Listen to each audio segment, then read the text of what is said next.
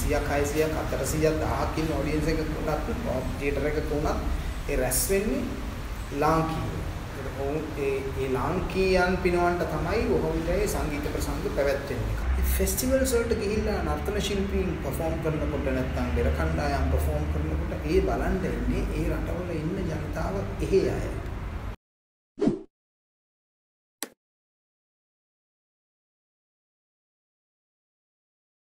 අයිබුවන් මම සචින්ත ඩිසිල්ලා මගේ channel එක subscribe කරලා නැත්නම් අදම subscribe කරන්න. මම අද ඇවිල්ලා ඉන්නේ මගේ ගුරුතුමාව හම්බෙන්න. අවුරුදු 16ක් ඉගෙන ගත්ත තැනට මට ඇත්තටම අහන්න ඕන උනේ ඇත්තටම කවුද ඉන්ටර්නැෂනල් ආටිස්ට්ලා කියලා. අයිබුවන් සර්. අයිවන් සතිත කොහොමද සර්? වරදක් නෑ. ඉතින් ලොක්ඩවුන් වෙලා එදෙට්ට වෙලා හිටියා. සර් ඇත්තටම ඉන්ටර්නැෂනල් ආටිස්ට්ලා කියන්නේ කවුද? ඔව් එහෙමයි. ඉන්ටර්නැෂනල් ආටිස්ට් කියලා සාමාන්‍යයෙන් අපි හඳුන්වන්නේ කිසියම් රටක කිසියම් කලාවක් ඒක රංගනය, නැටුම, ඇක්ටිං, මියුසික් ඕනම විෂයක් ඇතුලේ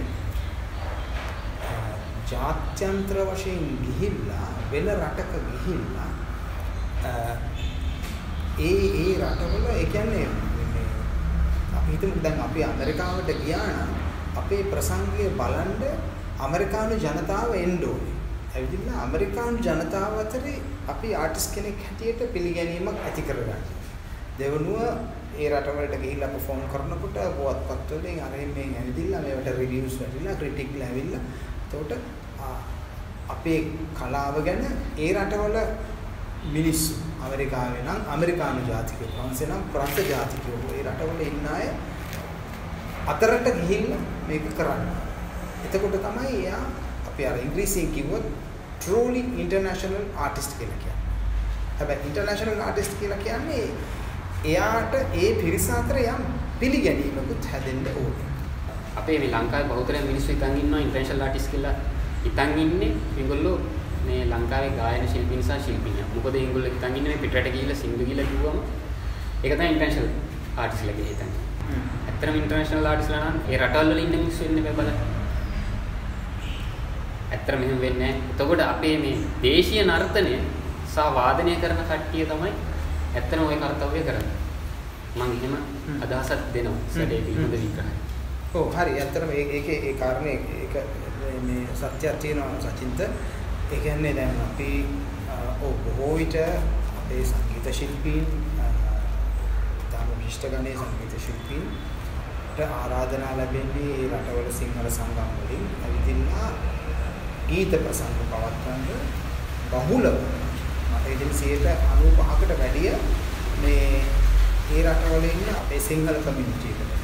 ඉතින් එතකොට අංග දෙනා ගිහිල්ලා හිටන් එතකොට ඒ ප්‍රසංගවල අපි හිතමුකෝ 500ක් 600ක් 400ක් 1000ක් ඉන්න ඔඩියන්ස් එකක උනත් තියටර් එකක උනත් ඒ රැස් වෙන්නේ ලාංකීය. ඔවුන් ඒ ඒ ලාංකීයන් පිනවන්න තමයි ඔහොමට ඒ සංගීත ප්‍රසංග පැවැත්වෙන්නේ. කණ්ඩායම් සංගීත ප්‍රසංග වේවා, ඒකල ගීත ප්‍රසංග වේවා. ඒකේ එතකොට මේ නර්තන ශිල්පීන් මම හිතනවා ඊට වඩා ඇත්තටම එක පැත්තකින් එහායින් ඉන්නවා මොකද දැන් නර්තන ශිල්පීන්ට දැන් ආරාධනා ලැබෙනවා පිට රටවල ෆෙස්ටිවල්ස් වල දැන් බහුලයක් බහුල වශයෙන් අපේ නර්තන ශිල්පීන් දැන් ගොඩක් ලොකු තියටර් ෂෝස් කරනවා වෙනුවට දැන් ෆෙස්ටිවල්ස් කරනවානේ. ෆෙස්ටිවල්ස් වලට ගිහිල්ලා නර්තන ශිල්පීන් පර්ෆෝම් කරනකොට නැත්නම් බෙර කණ්ඩායම් පර්ෆෝම් කරනකොට ඒ බලන්න ඉන්නේ ඒ රටවල ඉන්න ජනතාව එහෙ අය. සර් මෙතෙක් වෙනකන් ගියපු විදේශ සංචාර වල සර් වැඩිපුරම ප්ලේ කරලා තියෙන්නේ ලංකාවේ මිනිස්සුන්ට ඒ රටවල් වල ඉන්නේ ඒ රටවල් වලින් නැත්නම් ඒ රටවල් වලින් මිනිස්සු. නෑ ඇත්තටම මට සතුටින් කියන්න පුළුවන් මම මුගක් පර්ෆෝම් කරලා තියෙන්නේ ඒ රටවල ඉන්න ඒ ජාත්‍යන්තර මේ මේ ප්‍රේක්ෂක ජනතාව සහ ආටිස්ට්ලාට. ආටිස්ට්ලාට සහ ඉතින් ප්‍රේක්ෂක ජනතාවට. ඒතන හැමදී ආටිස්ට්ලා හමු වෙන්න අවස්ථාව ලැබෙනවා බොහෝ. පිළිගත් ආටිස්ට්ලා උදාහරණයක් හැටියට දැන් බොමැඩ් එකට ගිහිල්ලා හිටන් අපි සිංගප්පූරුවේ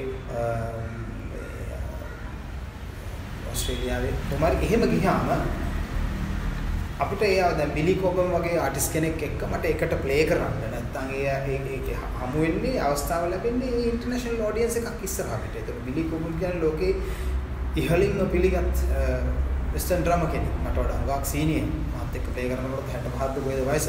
ඉතින් ඒ ඒ එතකොට ඒ ඒ ෆෙස්ටිවල්ස් වලට යන්නේ ඇත්තටම අපේ නැටුම් ශිල්පීන්, අපේ වාදන ශිල්පීන්.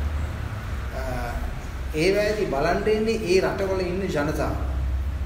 සමහරක් වෙලාවට දැන් වෝමැඩ් වගේ ෆෙස්ටිවල් එකක් නම් සිංගප්පූරුවේ තිබුණට ප්‍රංශෙන් ඉංගලන්තෙන් ඉතාලියෙන් යුරෝපෙන් මේ එනවා මිනිස්සු සිංගප්පූර් වෝමැඩ් එක බලන්න. එහෙම ඉන්ටර්නැෂනල් ඔඩියන්ස් එකක් ඉස්සරහ අපිට ඇත්තටම මේ perform කරන්න අවස්ථාව වැඩි වශයෙන් ලැබෙන්නේ මේ අපේ දේශීය කලාව කරන නැටුම් වාදනය කරන ශිල්පීන්ට. ඒක ඇත්තටම කොහොම නිර්භයව අපිට කියන්න පුළුවන්. ආඩම්බරෙන් කියන්න පුළුවන් කාරණා. ඒ කියන්නේ සර්ට් ඇරියුම් කරනවා ඒගොල්ලෝ එහෙට ඇවිල්ලා perform කරන්න අපේ කල්චර් එක පෙන්වන්න. පැහැදිලිවම එහෙම එහෙම ඇරියුම් කරනවා. එතන මොකක් හරි විදියකින් අපි ගැන දැනගත්තාම එහෙම කරනවා. එහෙම නැත්තම් මේ හැම තැනදීම ඇරියුම් ලැබිලා විතරක් නෙවෙයි අපි මාකටිං තියෙනවා. අපි අපි ප්‍රොමෝට් කරනවා. ඒ ප්‍රොමෝට් කරනකොට උනත් අපි ප්‍රොමෝට් කරන්න ඕනේ අපේ ආර්ට් එක කොතෙන්ටද කියන එක පිළිබඳව අපේ අය ගැන එහෙම එහෙම හැඟීමක් නැහැ.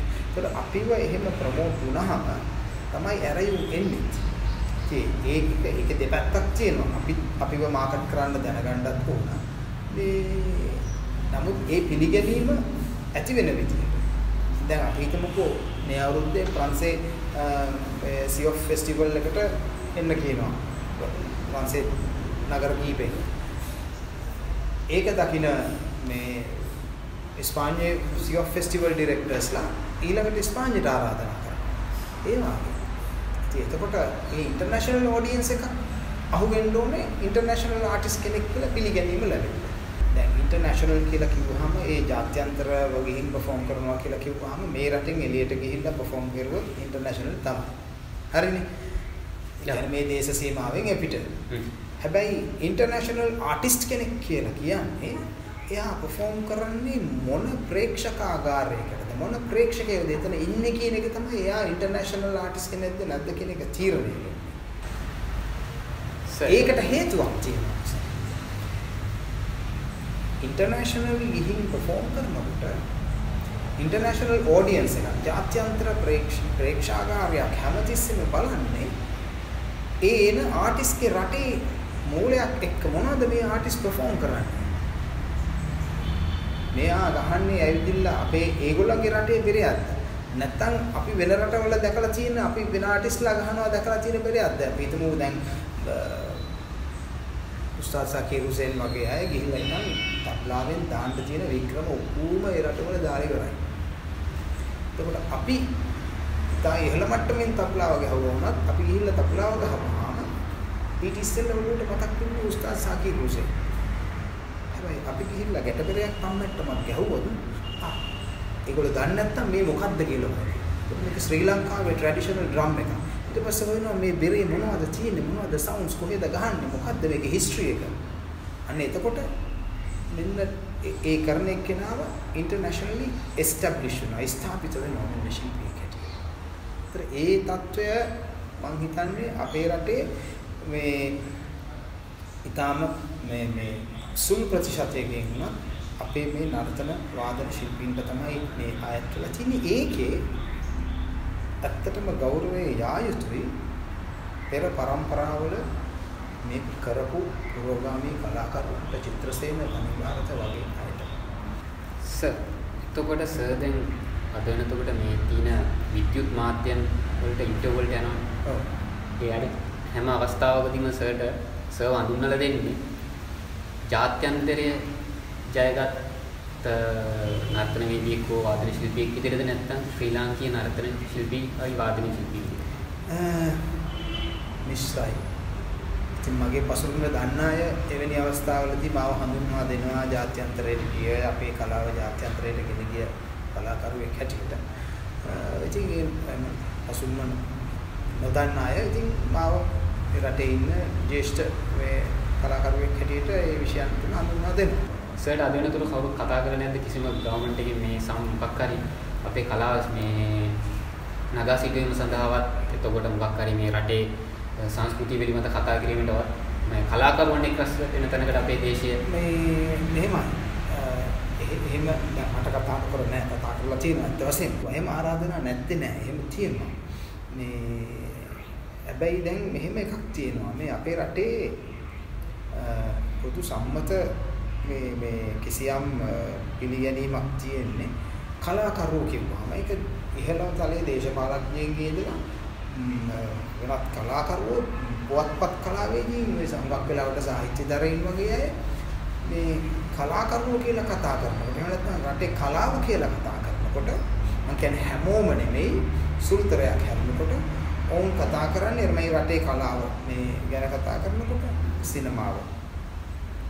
ටෙලි නාට්‍ය කලාව නාට්‍ය කලාව සංගීතය සංගීතෙත් ගායන ගායන එතකොට මේ ඒකට හේතු වෙලා තියෙන්නේ කාලාන්තරයක් තිස්සේ. එතකොට නර්තනය කියන එක මේ රටේ 1940 දශකයේ ඉඳලා ඉතා මේ සාම්ප්‍රදායික නර්තනයේ පැත්තක තියන්නකෝ ඒකේ වෙන කාර්යභාරයක් තියෙන නමුත් ඒකෙන් අරගෙන නූතන ඩාන්ස් ආර්ට් එකක් මේ රටේ ඩෙවලොප් කරලා චිත්‍රසේන පරිභාරත ප්‍රේම කුමාර වසන්ත කුමාර වගේ මේ යන්න ලුසි ඒගොල්ලෝ ඩෙවලොප් කරපු ආර්ට් එක පිළිබඳව ඒගොල්ලෝ ගැන කතා කරනවා නම් කතා කරනවා. මිසක් පොදුවේ රටේ කලාව ගැන කතා කරනකොට නර්තනය කියන වචනේ එන්නේ ඊටාම කලාතුරකින්.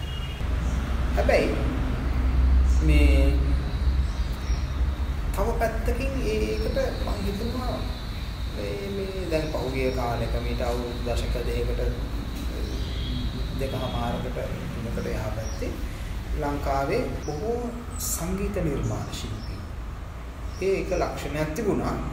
මේ බෙරය කියන එක මේ මේකේ ආර්ට් නෑ. මේක සංගීතමය නෑ, මියුසිකල් නෑ. මේ සද්දෙට ගහන එකක් විතරයි. එතකොට මේ බෙර වගේ දේවල් අපේ මියුසික් එක්කලා යොදා ගැනීමට පොඩි පසුබෑමක් තිබුණා. මොකද ඒක ඒකට හේතු වෙලා තියෙන්නේ ඒ අය ඒ වෙනකන් බෙරය කියන එක අහලා තියෙන්නේ එක්ක පෙරහැරේ නටුන් කණ්ඩායමකට ගහන්න බෙර වාදක 15ක් 20ක් ගහන එක. එහෙම නැත්නම් කංකාරියක හෝ මේ ලෙවල් මඩුවක බෙර ගොඩාක් ගහන එක. මොකද ඒවා විවෘතව කරන රංගනය. එතනට සුදුසු විදිහට ඒව ගහනකොට ඒක විතරයි අහලා තියෙන්නේ. එතකොට හිතනවා මේක මෙහෙම එකක් කියලා. හැබැයි අපේ බෙරේ තුල ලෝකේ ඕනෑම සංගීත ක්‍රමයක් සංගීත ශෛලියක් එක්කලා අනුගත වෙන්න පුළුවන් ශිල්ප ක්‍රම තියෙනවා. මේක මම ලෝකෙ පුරා ගියාම බය නැතුව කියන කාරණයක් මේ දකුණු ආසියාවේ බෙර අතර ලෝකේ බෙර කලාව හයක් විතර අපිට හඳුනා ගන්න පුළුවන්. මේ ලතින් ඇමරිකානු බෙර ඉඳලා අනිත් පැත්තේ චීන, ජපානු, ආසියානු බෙර දක්වා ඒ අතරේ දකුණු ආසියානු බෙර අතර තබ්ලා පකාවාජය මෘදංගය ගැටබෙරය තම්මැට්ටම පහතරට බෙරය මේ විශේෂයෙන් අතින් ගහන බෙර. අතරේ මේ බෙර ඔක්කොම එක සමාන එක තලයේ තියෙන ශිල්පීය තත්වයන් තාල පද්ධතියින් තියෙන ඒවා. සමහර විට මෘදංගම් හෝ තබ්ලා ශාස්ත්‍රයේ ඇතුලේ මේ අපේ බෙරේට වඩා සංකීර්ණ පදක්‍රම ගොඩනැගිලා තියෙනවා. ඒක හරි. නමුත් අපේ ගැටබෙරේ පහතරට බෙරේ වගේ අතින් ගහන බෙරවල උල වගේ බෙරවල පවා මේ ටෙක්නික්ස් තියෙනවා. ඒව ඇතුලේ ෆින්ගරින් ටෙක්නික්ස් තියෙනවා. ඒ කියන්නේ මම මේ කියන්නේ අපි අර ඉංග්‍රීසියෙන් පැහැදිලි වෙක කෝඩිෆයිඩ් ප්ලේයිං ටෙක්නික්. කේතකරණය කරපු වාදන ශිල්ප ක්‍රම. ඒ කියන්නේ මෙහෙම මේ ශබ්දේ එන්න ඕනේ මෙහෙම ගැහුවොත් විතරයි. මේක මෙන්න විදිහකින් ගන්න බෑ. මේ ඇඟිල්ලෙන් විතරයි ඒක ගන්න පුළුවන්. මේ අතේ මේ ඇඟිලි තුනෙන් මේ ඇඟිලි තුන මෙහෙම වකුටු කරලා තුන් පාරකට මෙහෙම එකට එකට වැදුනොත් විතරයි ජිත් ශබ්දේ එන්නේ. එච්චරට ටෙක්නික්ස් තියෙනවා. තබ්ලා වගේ පකා වාද්‍යකේ වගේ දැන් පක් වාද්‍යකේ තාප් එක මෙහෙම කරලා ගහනවා නම් ඒකේ තියෙනවා කුලාබාජ් ඒ කියන්නේ විවෘතව ගහන එක පහළ ගහන එක කියලා තබ්ද දෙකක්. ඒ වගේ ඒ ටෙක්නික්ස් වගේ අපේ තියෙනවා ගැටබෙරේ මෙහෙම ගහන ඒවා. දැන් ඔබ ඔයා ගැටබෙර වාදකෙක් විදිහට හොඳටම දන්නවනේ ගැටබෙරේ කොහොමද අපි ඩයිනමික්ස් ගන්න කියලා. ඉතින් එතකොට අර තබ්ලා එකේ පක් වාද්‍යකේ මෘදංගම් එකේ තියෙන ඩයිනමික්ස් වගේ තියෙනවා. එතකොට ඒ සංගීතමය බව අපේ බෙරේ තුල නැත්තේ නෑ ඔක්කොම තියෙනවා. අපි ඒවා මතු කරලා දුන්නාම තමයි හැබැයි හැමෝටම ඇස්සරලා පේන්නේ මේ අපේ බෙරේ මෙච්චර දෙයක් කරන්න පුළුවන්. මම හිතන්නේ මේ සර් කියන්නේ අර අපේ බෙරේ දියුණු නෑ කියලා කියනවනේ සමහර මිනිස්සු කොට්ටාසයක්. ඒ මිනිස්සුන්ට තමයි මේ උත්තරේ දීලා තියෙන්නේ අපේ බෙරේ දියුණුද නැද්ද කියන එක. මම හිතන්නේ පැහැදිලිව. පැහැදිලිව. මොකද ඒගොල්ලෝ හිතන්නේ මේක මාකට් කරන්න බෑ මේක මාකට් කරන කලාවක් නෙමෙයි ඒක නිසා වෙනම නර්තන කලාවකුයි වෙනම වාදන කලාවකුයි ඇවිල්ලා ඒක තමයි මාකට් කරන්න ඕනි කියලා නැත්නම් පිටරටින් එන පෙර කලාවක් හරි ඒක තමයි අපිට මේ රූපවාහිනිය ඔස්සේ දෙන්න පුළුවන් කියලා හිතන අපේ දේශීය සංස්කෘතියට තැනක් එන්නේ නැහැ ඒ මෙහෙමයි මාකට් කරන්න බෑ කියලා කියන එක ඒක සම්පූර්ණ මිත්‍යාවක් බොරුවක්. ඒක එහෙමනම් වෝමැට් ෆෙස්ටිවල් එකේ එංගලන්තෙන් තමයි ඒක ඉස්සෙක තියෙන. ඒතර ඒගොල්ලෝ එහෙමනම් මේ ඒ වසරේ කරපු වෝමැට් ඩ්‍රම් ෆෙස්ටිවල්ස් ඕස්ට්‍රේලියා, සිංගප්පූර්, ශ්‍රී ලංකාවෙත් කරා. මාව බ්‍රෑන්ඩ් ඇම්බැසඩර් කියලා හිතන් තෝරගත්තේ. ඒතර ශ්‍රී ලංකාවේ බෙර මේ මාකට් කරන්න බැරි නිසා නෑ ඒක බොරු කතාවක්. එහෙම එකක් නෑ. මම දැන් ඒ ඒ ටිකම ඇති මේ ඔය මාකටිං කරන්න බෑ කියන කට්ටියට. ඔව් ඒක හැබැයි ඒකේ මෙහෙම එකක් තියෙනවා. දැන් ඔයා කතා කළානේ අපේ මාධ්‍ය ගැන. ජන මාධ්‍ය විශේෂයෙන් වාහිනී මාධ්‍ය මොකද ඒකට තව කරුණක් එකතු කරන්න හැම මාධ්‍ය නාලිකාවක් තුළම සර් කතා කරනවා දේශපාලනය පිළිබඳ වැඩසටහන් විවිධ විදිහට එකක් හෝ දෙකක් තුනක් අනිවාර්යයෙන්ම තියෙනවා මේ channel එක තුළ. ලංකාවේ දැනට පවතින මාධ්‍ය නාලිකාව. නමුත් ලංකාවේ සංස්කෘතිය ගැන කතා කරන්න ඒගොල්ලන්ට මතක් වෙන්නේ එක්ක අවුරුදු කාලේ ලඟ වෙනකොට වෙසක් එකක් හරි කොහොම නැත්නම් මොකක් හරි වෙන රටක ජනාධිපතිවරයෙක් ලංකාවට ආවම තමයි සංස්කෘතිය මතක් වෙන්නේ ඒ කාලවලට විතරයි. පැහැදිලිව. ඔයා හරි සජිත ඉතින් ඒක ඇත්තටම ඒක ප්‍රතිපත්තිමය වශයෙන් ඇති විය යුතු දෙයක්. ඒතකොට කියන්නේ රටක වාහිනී මාධ්‍ය ආයතන තුල වේවා ගොඩනැගිලි මාධ්‍ය ආයතන තුල වේවා මේ වගේ මේ දේශීය කලාවන් දේශීය ස්වභාවික කලාවන් ම්, නිරන්තරයෙන් ජනතාවට ඉදිරිපත් කිරීමට බෙල්ට්ස් හැදෙන්න ඕන. දැන් මම උදාහරණයකට කියන්නම්. මේ දැන් YouTube එක බලපුවාම මේ ඔය YouTube එකේ තියෙන දර්බාර් කියලා වැඩසටහනක් තියෙනවා. මේ මේ මොකක්ද කියන්නේ All India Radio. අඛිල ಭಾರತೀಯ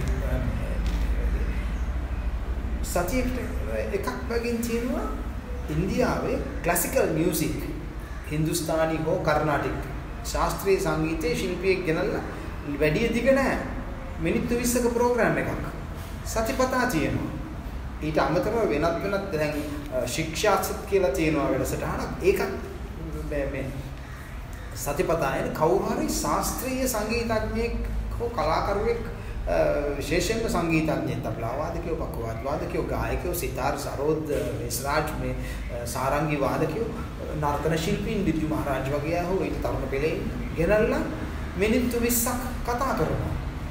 මේ මේ නැෂනල් ටෙලිවිෂන් එකේ. ඒක ඒවා වීක්ලි වැඩසටහන්. එතකොට දැන් එවැනි අවස්ථාවල අපේ රූපවාහිනී ආයතන තුල ඇති වෙන්න ඕන. ඒ කියන්නේ අපේ ආර්ට් ප්‍රොමෝට් කරන්න.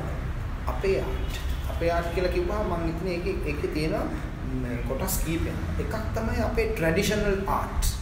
මේ මොන මොඩර්න් දේවල් කරත් ඒ ට්‍රැඩිෂනල් ආර්ට්ස් ආරක්ෂා වුණේ නැත්නම් මොඩර්න් දේවල් කරන්න අපිට පදනමක් නැහැ. හරිද?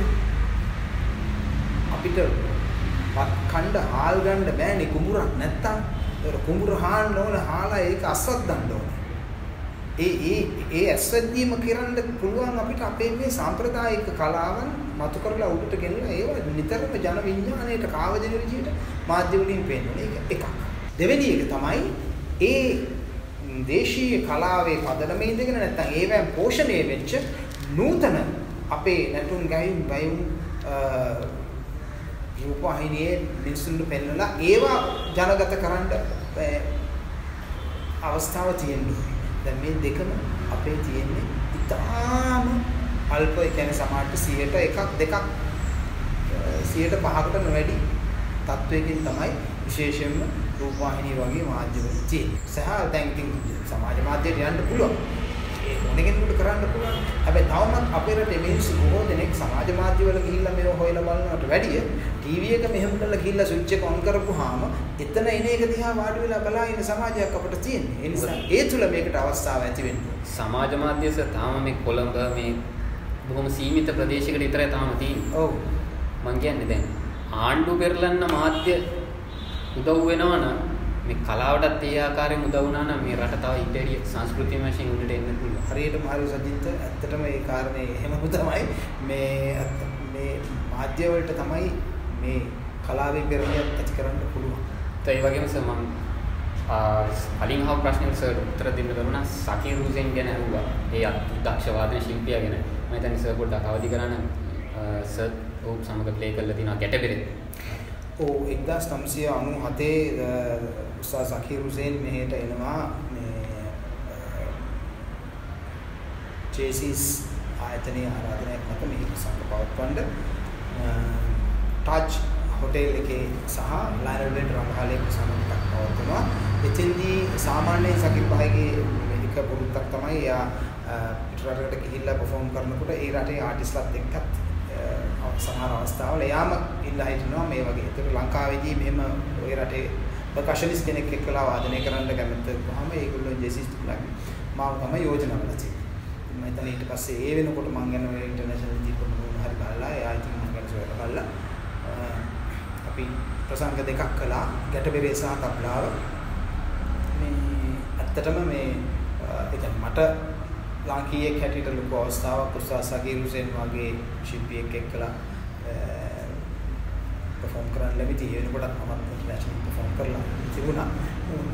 නමුත් උස්තාද් සගීර් හුසේන් කියන්නේ සචිත්ත මේ අතරම තාල් වෙදෙක්. ඒ වගේ කෙනෙක් එක්කලා මෙහෙම ඉන් පා ඉන්න කරට කර ඉන්න නම් මට වගේ ශිල්පීයත්වයේ විතර නෙමෙයි අපේ කලාව තුළ අපේ පෙර කලාව තුළ තියෙන්න ඕනේ ටෙක්නික්ස්. අන්නේ පොහසත්කම ගැන අපි කතා කරන්නේ අපේ ආර්ට් එකේ තියෙන. එතනයි ප්‍රශ්නේ. ඉතින් කොහොම හරි ඒ ෂෝස් දෙක ඉතාම හොඳින් යා අපි ප්‍රැක්ටිස් කරන්නේ නැතුව නිකන් අපි කතා මම වාඩි වෙලා කතා වුණා. එයා මගෙන් අහුවා රවි භායි අක්ෂර බිබ්ලේ. ඉතින් මම අපි මෙහෙම මෙහෙම ගහමු. මෙහෙම ගහලා එයා අන්තිමට කිව්වා රයිට්.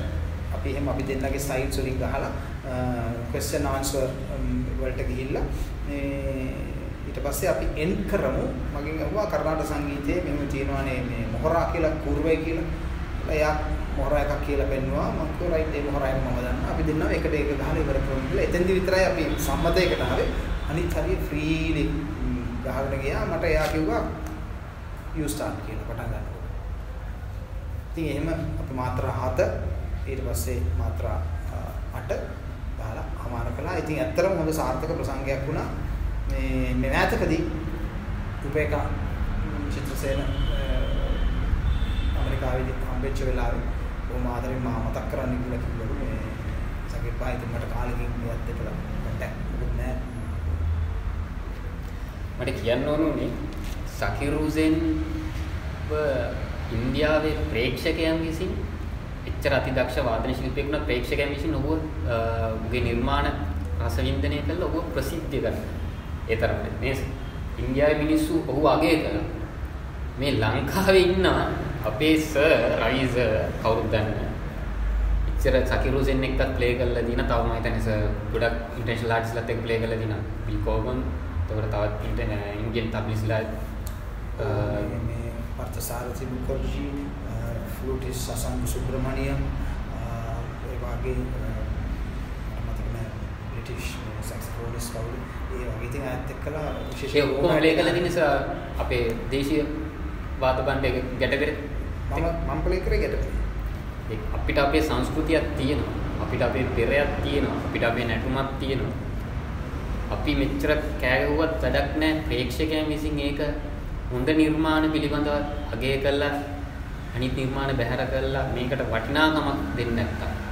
මට හැමතිස්සම කතා කරන්න ඕනේ ඒ ගැන අපි පිටරට ගොඩක් ෂෝස් ඕගනයිස් කරන කට්ටිය ඩාන්සින් ෂෝ එකක් හරි බේර ෂෝ එකක් හරි ඕගනයිස් කරන්න ගිහුවම 10000 වාරයක් විතර ඒගොල්ලෝ පසුබල කරන්නේ නැහැ ඒක ඒක ඇත්තට එහෙම ඒ කියන්නේ අර අර අර අර අර පරම අර මේ මේ ගතානුගණික ගතික මේ මේ විඥානීය උඩ තමයි ඒක කරන්නේ. කියන්නේ මේවා ගර්හිත කලා එක.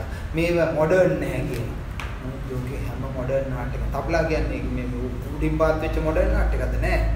සියවස් ගානක් පෙරලි සම්ප්‍රදායක්. ඒක මොඩර්නයිස් කරුවේ එක එක එක උස්තාද් සකීම් හුසෙන් ඉස්සෙල්ලා එයාගේ තාත්තා උස්තාද් අල්ලරක්කා ආ එයාගේ પરම්පරාවේ අනික් අය මේව ලස්සනට ගෙන මොඩර්නයිස් කරලා.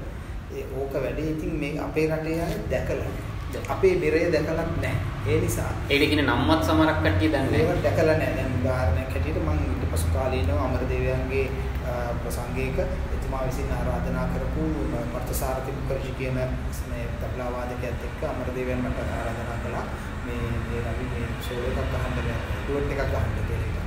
ඉතින් ඒක මට ලොකු අවස්ථාවක්. එතුමා සහ ලොකු ඔඩියන්ස් එකක් ඉදිරියට එතුමාගේ සංදර්ශනය ඇතුළේ ගහලා ඉවර වෙලා ෂෝ එක ඉවර වෙලා අපේ පිරිස සංගීතඥයෝ පවා ඇවිල්ලා කිව්වා අපේ බෙරේ මෙච්චර දෙයක් කරන්න පුළුවන් කියලා අපි අදනේ දන්නේ. ඉතින් එතකොට මට ඇත්තටම මේ කටට ගහන්නයි හිතෙන්නේ. එතකොට ඔයගොල්ලෝ මේ මේ රටේ කලාකාරයෝ වෙලා අපේ මේ කලාව ගැන කිසිම ඔයගොල්ලෝ සෙවින්දම් බැලින්න නැද්ද කියලා. මම අවසාන වශයෙන් කියන්න ඕනේ මම නිවේදකෙක් නෙමෙයි. මම පුංචි වාදන ශිල්පියෙක්. ඉතින් මට පුළුවන් විදිහට තමයි මම මේ ප්‍රශ්න අහලා මේ සම්බන්ධව කතා කරන්නේ. ඊට හේතුව මාධ්‍ය ඔස්සේ අපිට හම්බෙන අවස්ථා හරි අඩු නිසා.